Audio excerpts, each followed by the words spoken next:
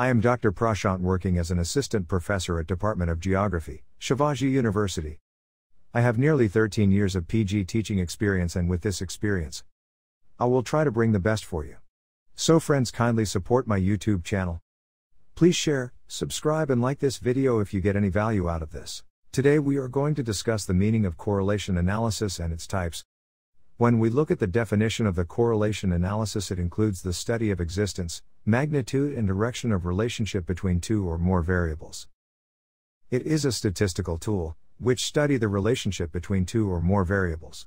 In order to understand correlation analysis in depth, we have to study the types of correlation between variables. Followings are the types of the correlation. First one is positive or negative correlation. Second type of correlation is perfect correlation. Third, limited degree of correlation. Fourth is linear and nonlinear correlation. And lastly, if there is no interdependence between two variables, then it is defined as a no correlation or zero correlation. Earn up to $30 per 1,000 clicks on linkforties.net. Nice. Hence, one by one, we are going to elaborate the types of correlation. Now we are moving ahead with positive and negative correlation. Difference between positive and negative correlation is judged on the basis of the direction of change between two variables. If the changes in both variables are in same direction that is if one variable increases then another variable will also increase or increase in one variable is responsible to increase in other related variable then the correlation is said to be positive correlation.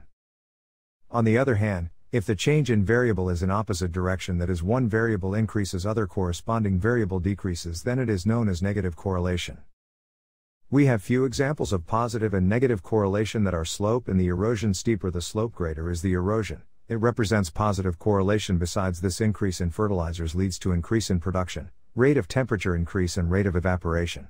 On the contrary, increase in height of place from mean sea level and decrease in rate of temperature. Likewise, we also have other examples of negative correlation height and pressure, temperature and pressure. The second type of correlation is the perfect correlation if the change in two related variables are exactly proportional or change in one variable is proportional to the change in other variable then the correlation is called as perfect correlation. If the proportional changes are in the same direction, then there is perfect positive correlation between the two variables, and it is denoted by correlation coefficient value plus 1. And if the proportional changes are in the reverse direction, then there is perfect negative correlation, and it is represented by minus 1 correlation coefficient.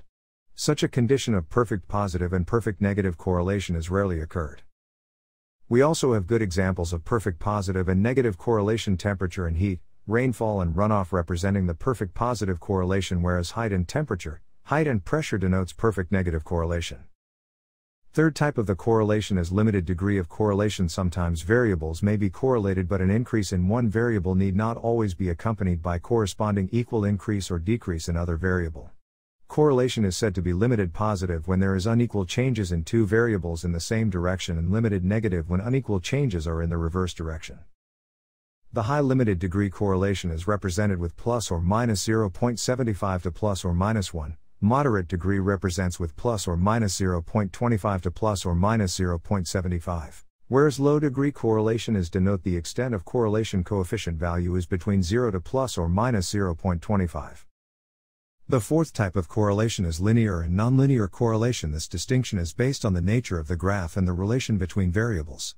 If the graph representing correlation between variables is straight line then it is said to be linear and if graph is a curve then it is called a nonlinear correlation. At the last we are going to discuss no correlation or the zero correlation. When there exists no interdependence between two variables or no relationship is found between two variables then it is called as no or zero correlation and it is denoted by zero correlation coefficient. Visit linkforties.net and earn money through links now.